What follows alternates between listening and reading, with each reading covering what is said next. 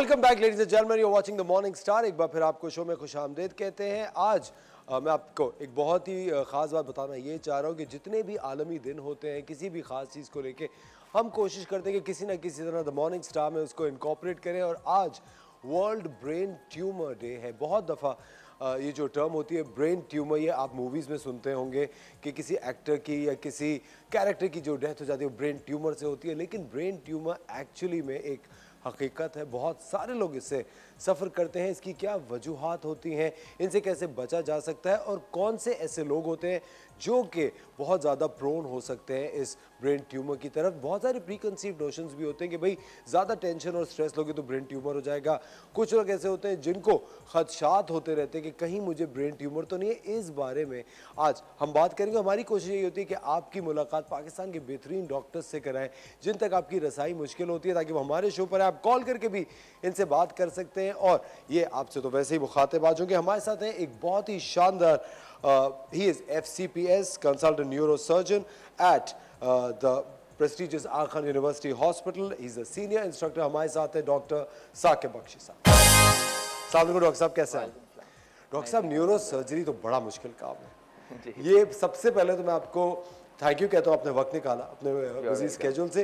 Doctor साहब going back in time before the world brain tumour को हम discuss करें मुझे ये चीज़ जाननी है कि when you were a child जब आप कॉलेज जा रहे थे पढ़ाई कर रहे थे इस तरफ़ इंटरेस्ट कैसे डेवलप हुआ? क्योंकि कहते हैं दुनिया में हर कोई किसी ना किसी मकसद के तहत आता है। तो अल्लाह ताला ने आपको इस मकसद के लिए चुना हुआ था। वाह जब मैं मेडिकल कॉलेज में था तो हम ज़ाहिर सारे जितने भी हमारे ऑर्गन सिस्टम्स हैं हम सबको स्टडी करते हैं।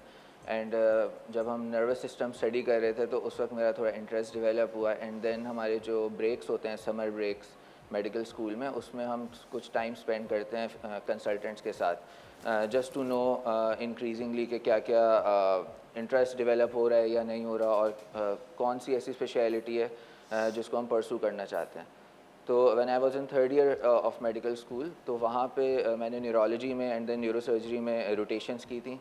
एट डिफरेंट हॉस्पिटल्स यहीं कराची में और फिर I developed an interest and then फिर मैं अपने फारिग टाइम में भी चला जाता था क्लिनिक्स वगैरह कराने एक्सपोजर होता था and that's how I I develop an interest in neurosurgeon लेकिन डॉक्टर साहब कोई आपकी फैमिली के अंदर न्यूरोसर्जन्स पहले नहीं थे uh, नहीं मेरी फैमिली में आयरॉनिकली uh, कोई डॉक्टर भी नहीं। कोई डॉक्टर भी नहीं था? First doctor in my excellent भाई तालियाँ डॉक्टर साहब के लिए।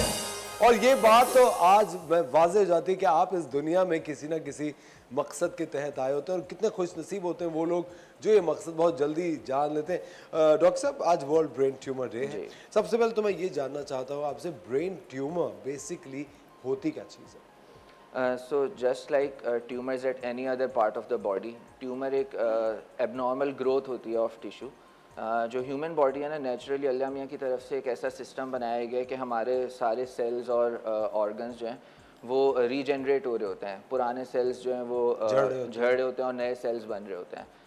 इस प्रोसेस में अगर एबनॉर्मेलिटी आ जाए और वो एक एबनॉर्मल तरीके से सेल्स बनने लग जाएँ तो वो जन्म दे देते हैं ट्यूमर्स को। और जिस तरह बाकी अज़ा में लंग कैंसर है ब्रेस्ट कैंसर है इसी तरह ब्रेन के सेल्स के अंदर भी अगर एबनॉर्मल ग्रोथ आ जाए तो वो ट्यूमर्स को ओरिजिन ओरिजिन देती है। और जनरली जेनेटिक म्यूटेशंस हम लफ्ज़ इस्तेमाल करते हैं उसके लिए। आ, वो हमारी बॉडी के सारे ट्यूमर्स की बेसिस जेनेटिक म्यूटेशन है और इसी तरह ब्रेन ट्यूमर्स के भी uh, यही वजह है।